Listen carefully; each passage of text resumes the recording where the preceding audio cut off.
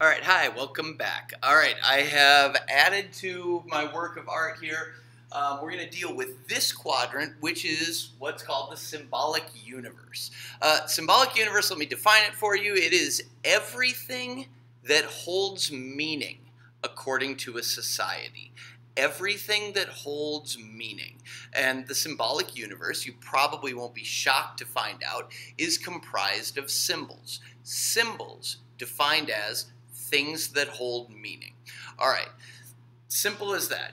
Everything that holds meaning according to a society, so a, a huge collection of symbols is what we would call the symbolic universe.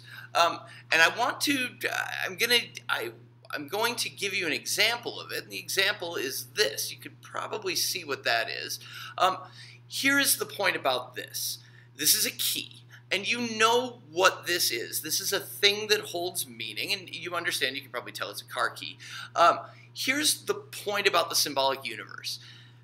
Because we have assigned particular meaning to this physical object, we know what to do with this.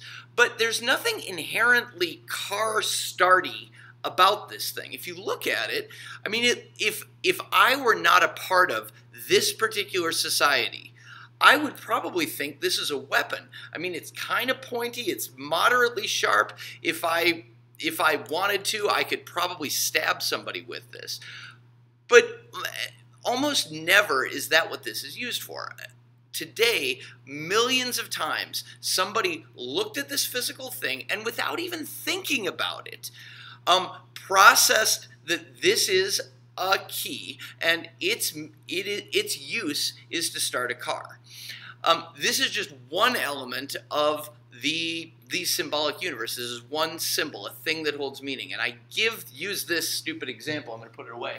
I use this stupid example to show you the how mundane the symbolic universe is, and also how pervasive it is. Now, think about that key. And now think about the other things that were around the key when you picked one up today.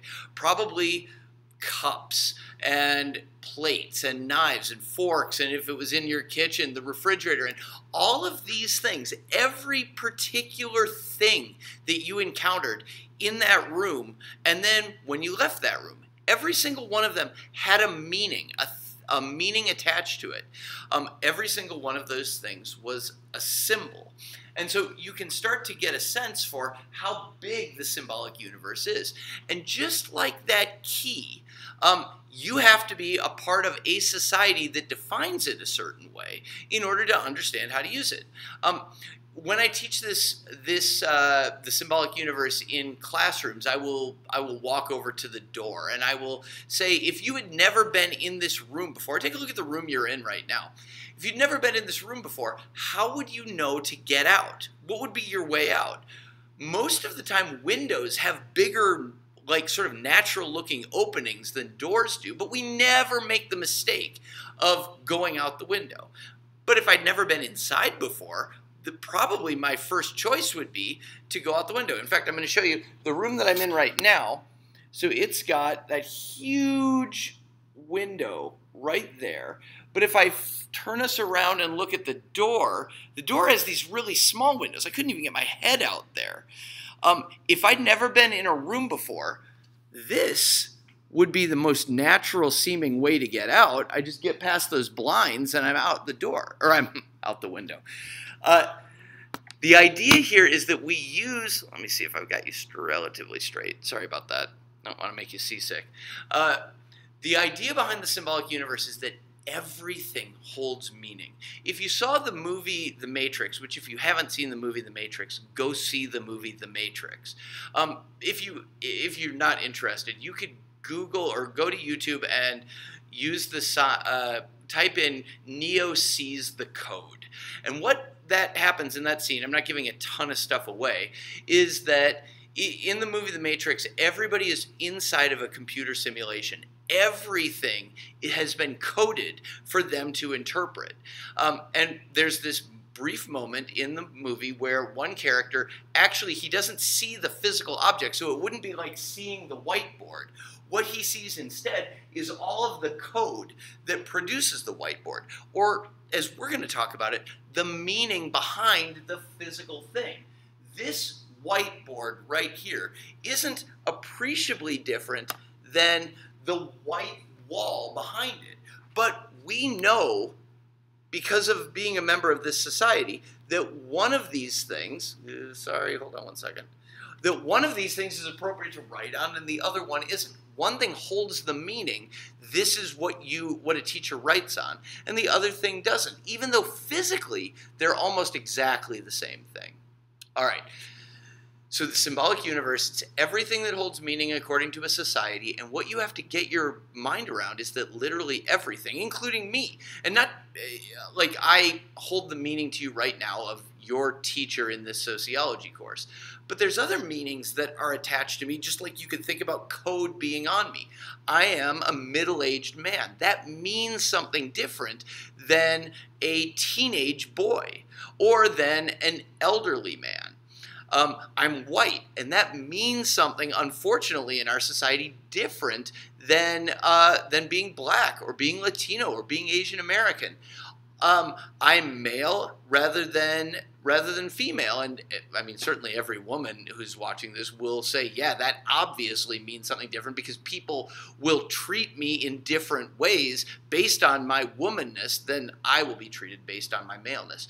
So. Um, I think that's all I want to say about that. Uh, uh, the, the, the point I'm trying to illustrate is literally everything you encounter holds meaning in a society. And that's and all of those things, you take them all together, they comprise the symbolic universe. Now, why, where this is pertinent to our particular class right now is the idea of organizations. Organizations are what we are going to call fictional symbols.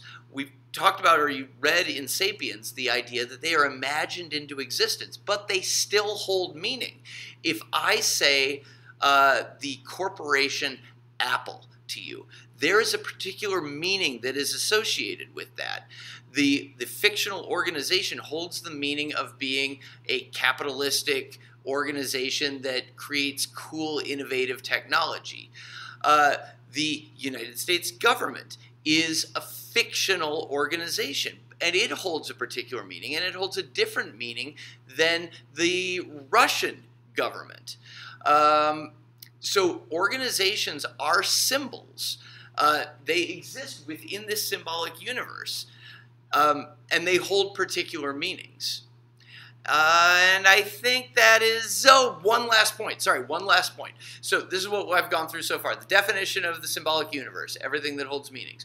What it's comprised of, symbols, like individual things that hold meanings. And they could be uh, real, like a physical object, like a whiteboard. They could be... Uh, they could be attributes that a person has, like my white skin or my maleness. They could be fictional things uh, that exist, like organizations, which is where we're going to spend a lot of our time in this class, obviously. Um, so we've got those things. The last point in this video, and then I'll stop and move on to something else, is the purpose of the symbolic universe. And this uh, is worth me belaboring for just a moment. So you get inserted into this machine, and part of this machine is the symbolic universe. What is the role that the symbolic universe plays within the machine? Here's the role it plays the purpose is that it defines reality. We have a particular symbolic universe, and therefore we understand reality in a particular way. I'm going to contrast this in a very, very harsh way. In American society, one of the symbols is women, and another symbol is school. And in our symbolic universe, those two things can coexist well. Women belong in school. In the traditional uh, Afghani or uh, the tra traditional Taliban society, the symbol of woman is partially defined as not needing or not being appropriate for education. And there are girls and women who have been stoned to death based on that particular symbolic universe, that particular meaning assigned to women and education. Now, where this is going to come out the other side, what gets produced, and you can kind of see it, is particular thoughts. I have the thought women belong in my class because, not because I'm a good person, but because I'm a human being who was inserted into a machine where that is a, a thought that would be produced by those few symbols working together. Had I been born into Taliban society, the same human being biologically would come to a completely different thought. Why? Because I'm suddenly a bad human being? No. Because this symbolic universe produces those particular thoughts. The symbolic universe defines reality.